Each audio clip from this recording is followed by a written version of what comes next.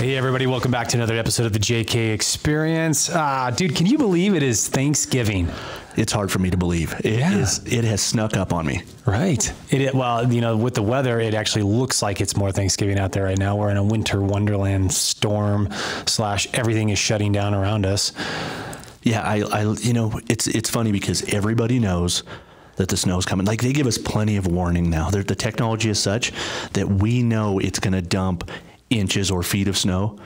It's like people don't know. They're just like, oh, I'm going to get up in the morning, my usual five minutes to get to work. Yeah. and that'll be it. And so, so because of that, you're driving to and from, and people are driving like idiots. It's it's hard. Yeah, I think the change of weather always gets people going, man. Well, I tell you what, I am. Uh, I'm really excited about this year uh, and Thanksgiving. Um, in the years past, I would honestly say that I have kind of always skipped over Thanksgiving. Thanksgiving was always the precursor to the greatest month ever, right? And the greatest month ever for multiple reasons. One, of course, is Christmas, the birth of Christ, and then like the second greatest birth ever. Uh, wait, is it Yeah, your birthday? birthday, yeah. Oh, really? Oh, man, that was so low key. I was know like, you- I was like, that was really wait, like I'm like, who else? Like, is it your dad's birthday? Is it is it Yeah. Kate's? No, Kate just had a birthday. Really? Just go keep Oh, going down the line. now. Yeah, Keep- keep let's. going down the line. no, but uh, you know, obviously having a birthday in December is actually kind of weird. It's actually interesting uh, because everybody tries to double up your gift. Yeah. you know. so, and you grew up in a big family, and I know you guys didn't grow up with a lot of money, so I'll Yeah. bet you got shortchanged. Oh, big time! And my my folks' ideas of Christmas presents were the time, the perfect time of the year to give you like the new socks, Yeah. and then like the new underwear that you needed. You know, it's like no, those are necessities. Yeah, yeah I should have those anyway. Yes, exactly. But anyways, I am really excited about Thanksgiving this year uh, because I came across this awesome, awesome story about the history of our country, and um, it really changed my entire perspective and appreciation for why we even have Thanksgiving. And I know that, you know, you're a history buff. You love, I, I know you love uh, Wyoming history. Yeah. That's, that's really your cup of tea, man. You could talk for days and days on that. And there's something about history that makes you appreciate your present, right?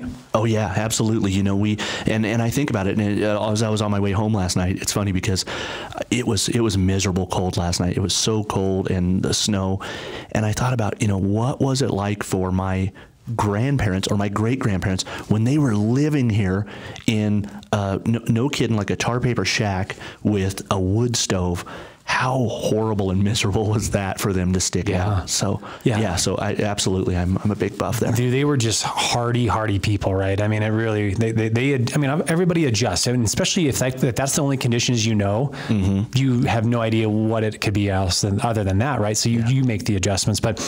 I mean, I think one of the things that I learned from this story is that our American history was full of tragedy. Our American history was full of challenges. Our American history was full of really, really hard things that people had to pursue through in order to continue to move forward with the greater cause. And I mean, what an appreciation for really how far we've come as a nation. You bet, and how easy we have it now versus what they had it. And I mean, all you got to do is look back and go, man, it's not so bad here. Exactly. So the story I want to share with you guys is something once again I came across and I just absolutely love it, and it is it is so important. In fact, not only did I want to talk about it on the the podcast, but it's something we shared at the office meeting. And this is a story that I'm going to be sharing on the day of Thanksgiving with a lot of people around us because I think it's just so impactful. So, you know, when you were growing up, we all read in the textbooks um, what Thanksgiving was about, like how it happened, what the Pilgrims did, and the Indians, and they all got together. And I, I know that our American history through textbooks really oftentimes get pretty gets pretty fluffed over. Yeah. You know, we don't really talk about the truth of what really happened. We don't talk about the either the ugliness or uh, all the challenge and the bad parts that, that people go through in order to uh, accomplish certain things, right? And this is a story. Like, if you don't know the true story of Thanksgiving, you're going to be blown away, just like I was, with the truth in the facts and what these people went through in order for them to get to that day of celebration. Well, let- let's face it, Josh. So much of our history is watered down.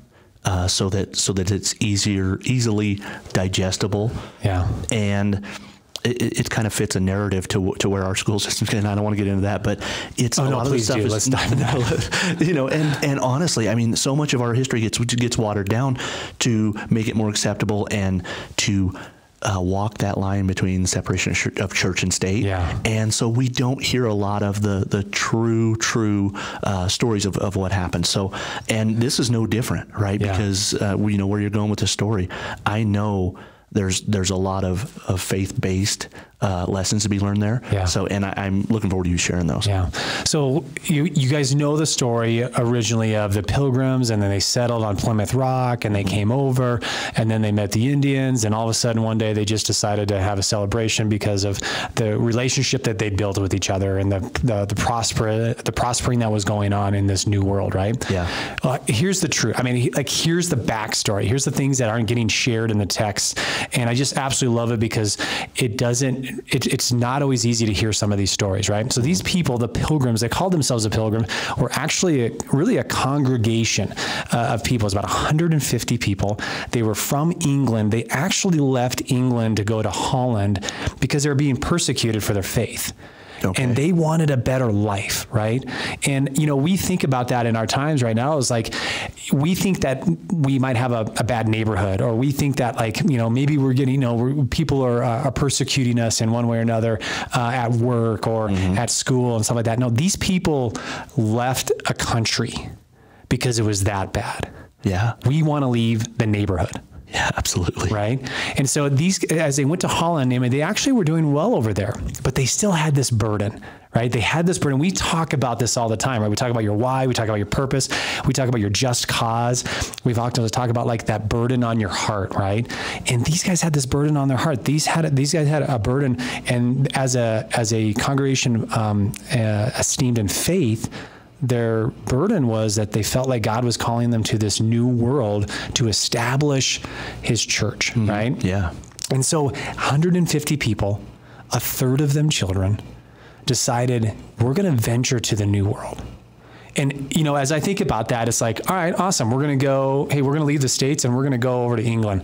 We're going to jump into the jet, right? We're going to jump into the big plane, and we're going to be over there in like 10 hours. Yeah. Awesome, right? Dude, back in the day, right? There's no way. That's not the way that things happen, of course, right? So their their mission, they knew was going to be pretty challenging. So what they chose to do is they left Holland, they went back over to England to get the Mayflower, and they also wanted to get the Speedwell. Now we never hear about the Speedwell, do we? No, no. As a matter of fact, first time I'd ever heard of it was was from you. So Yeah, and as I was as I was hearing the story out, this played out, I was the same thing. It's like, well, why do you not hear about the Speedwell? And then my mind automatically goes to, oh my gosh, it sank. you know, like, oh no, there's no Speedwell because there's no longer a Speedwell. What ended up happening is, so the 150 of these pilgrims decide to uh, lease out these these ships. They hired crews to take them across the seas to the New World. And as they boarded and as they started their journey, the Speedwell started to take on water. So 50 of them had to come back to shore and they were not, they never left. Oh. It was the Mayflower that you remember because that was the only ship that actually left the dock and continued to pursue the journey. So pretty amazing story just from the beginning, right? And 105 of them were on that ship. And here's the thing that I thought, the first thing that caught my mind was that the Mayflower was really only the size of a volleyball court okay. Uh, you know, my mind is always thinking back to these great, you know, the Pirates of the Caribbean Yeah. ships, right? Yeah. No, no. The, the think of that a size of a volleyball court. They had three tiers. You didn't go down to the third one down there, and that's where 105 people resided for the next 66 days. Ooh. Can you imagine that? No, no, I can't. I don't. I don't like being in an airplane that you talked about. I don't know, like being in an airplane for two or three hours. Yeah. sitting next to somebody I may not know very well and Yeah. my personal space. No, sixty Yeah. days. No thanks. 105 people. A third of them were children. There was one pregnant woman on there as well too. They're on this ship for 66 days. Okay, maybe we can do it. You know, we just talked about 75 hard. You know, mm-hmm. da da da. They went through some of the most horrific storms in order to get over.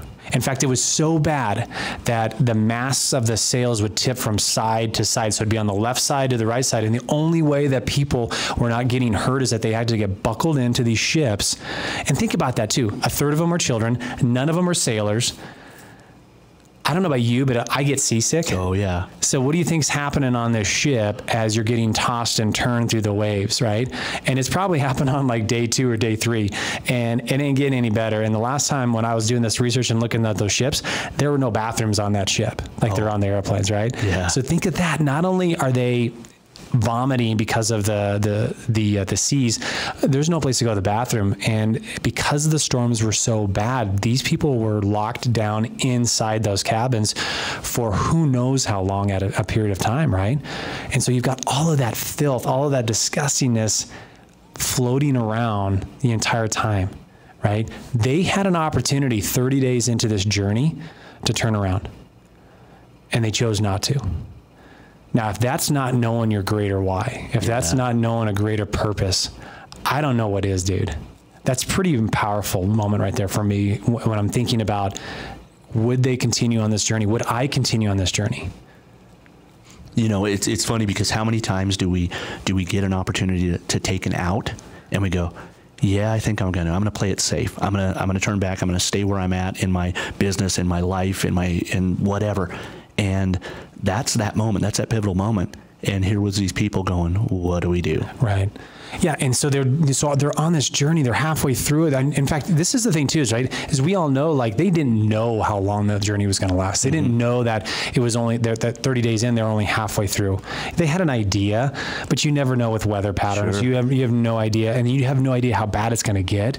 You know, it's already been pretty bad uh, enough for the captain to come back and say, "Hey, here's an opportunity to turn around if you guys because this is not getting any better right? And it was interesting too hearing that the crew that they had hired of course was not christians either. In fact one of the members kept on calling them um, psalm singing puke stockings which I thought that was pretty easy. I was pretty creative if you think about that. But like this is what one of the crew members was talking to them about because once again they were religious, so they're probably singing psalms all the time Uh-huh. to keep their faith. And then of course, obviously they're puking because the torrentious seas, right? So you have not only horrible situations, but you also have people that are cheering you on to fail as well too, right? Yeah. So all of this is going on. They decide to continue to move forward, and so finally, after 66 days at sea, they finally land in the New World and you're going, all right, this is the time to celebrate. That's when Thanksgiving happens, right? Yes. They land 500 miles north of where their destination was, which was in Virginia. They land in Cape Cod. Okay, that sounds okay. Cape Cod can be very beautiful in the summertime, right? I mean, if you've ever seen pictures, if you've ever talked to people, it's a beautiful, beautiful place. The problem is, is that they also landed in Cape Cod in December. And I don't know about you, if you've ever been to the East Coast in the wintertime, it is brutally cold out there. Yeah, I mean, it is. horribly cold. I spent some time in college in Iowa, and I've never experienced freezing rain like I did out there, where you'd see your car, but you couldn't get to it because there was like an inch and a half of ice over it, right? Yep. That's what Cape Cod would have been like. It was just absolutely frigid over there. And so they land exuberated to get off these stinking ships, and then they just have miles and miles of beaches. And they have no place to live, and then they're so they're running back onto the ship. Yeah. that's how bad the conditions were, right? Can you imagine that? Just think of that in your life, right? You go through a chapter that's really challenging and you're like, thank God I'm out of that chapter. And then you get into the next chapter and it's even worse than it was before, right? We don't think about that. Yeah. So and and you said this, and it's it's again a great analogy. How many times you get into that next chapter and it's just as bad or worse than what you just survived? You're like, hey, I want to go back. Yeah. I want to go back a chapter. So um, great analogy as far as as far as that goes. So they land, they have no idea what to do. They don't know. This is a different, I mean, this is a different agriculture too. So they have no idea how to farm in this. Yeah. It's the dead of winter. They can't plant. They don't know how to maneuver the seas either. So they don't really know how to fish the seas. And so they're they're landing now, and it's like things don't get better, right? So they're starting to build. They're starting to try to to, to figure their way through this. But the entire time, this is kind of eerie. Think about this: the entire time they're doing this, they have the provisions to know that somebody is watching them. They just don't know who it is. Think about how scary that would be. You know, as a father, uh, as a man, you know, you're you're in charge of your family. You've got your kids over there with your wife, and you know, in the distance, there's always somebody lurking. You don't know who or how many, man. Yeah. that's got to be a little bit scary, right? Yeah, So uneasy feeling for sure. Oh, definitely, right? So they go through this, they, they go through this, and eventually one of the Indians comes out, and we all think of Squanto. Squanto was the one that was uh, that actually helped uh, Uh, the the pilgrims realized how to crop, that they realized how to farm, they mm-hmm. realized how to fish. Right? I thought this was amazing. There was actually before Squanto, there was an actually there's an Indian named Samoset that he, had, he originally was captured by English sea captains and then uh, brought back to England. He learned English, he learned the English ways, and then he was able to, I don't know if he escaped or if somehow he was able, he was released, but he came back to the, the, the New World and he came back. And I absolutely love this. So this guy is six foot. He's, he's an Indian, he's a big dude, right? Because if you think back in the day, pilgrims were actually pretty small. They were five, five, five, six at the most. So here's this giant of a man coming out and the first thing he says to them is, Do you have beer? What? I don't think they said that in Texas, right? They don't let people. I, I've never had my children come back home and say, "Hey, guess what? Uh, guess what uh, Samoset said to the the pilgrims?" Right? No, but this is actual fact. I'm not making this up because I heard it on the internet. First of all, Right. It's always true It's on true. the internet. Uh, but no, it's actually in recordings, and this is the first thing he said. And you know, obviously, not knowing history, you don't know why would he ever say this, right? Is this a way for him to be like, "Hey, you're a friend, and let's just have a beer together to show to share that relationship," right? The reason why um, the pilgrims brewed beer is because back in England, the water was so toxic, so bad Mm. that it actually got people sick and people passed away and died from it, right? So they would brew beer because they were able to burn off all of the stuff. It had alcohol in it. And so it was actually healthy for the pilgrims.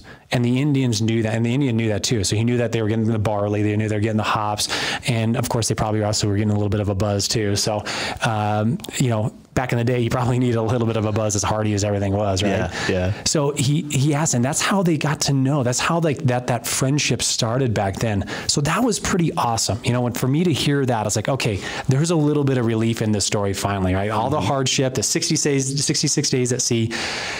I can't imagine showing up to the shores of Cape Cod in the dead of winter and going, oh my gosh, we are actually going into a worse chapter in our life here. And in fact, the chapter was so bad that they called it the starving time. So things got so bad that they had to ration their food. And I think a, part, a really important part of this story is that the miraculous thing about this entire journey thus far was that not one of the pilgrims died on the way over. Think about that. The storms, um, the um, uh, the sickness, all the things that were going on. A third of them were children, right? Not one of them died on this 66 day journey.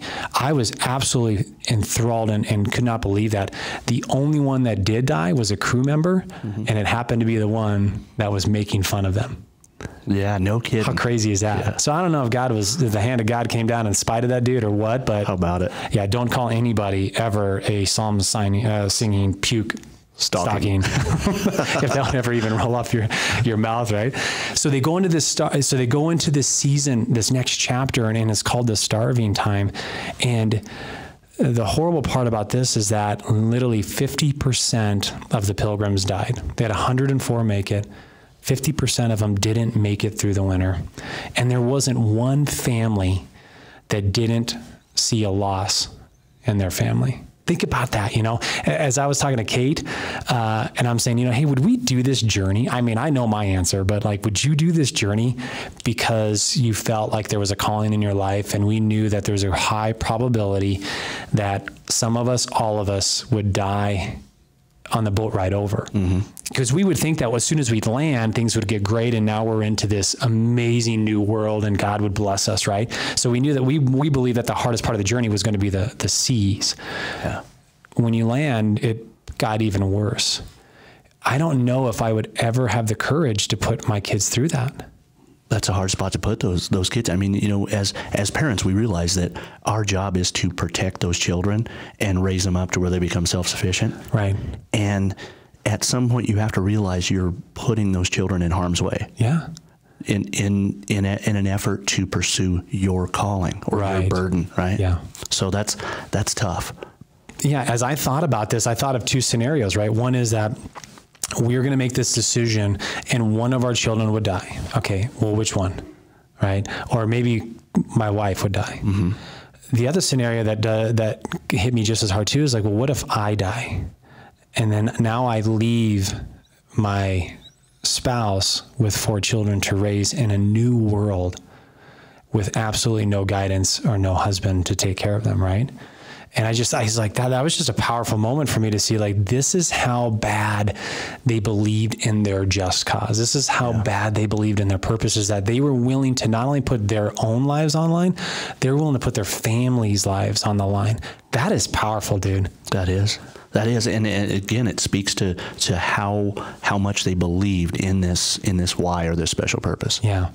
So they're in this starving period, and one of the most significant things that um, happened through that that is the symbolic part that really um, hit with me is they rationed their food, and it came down to five kernels of corn per person per day.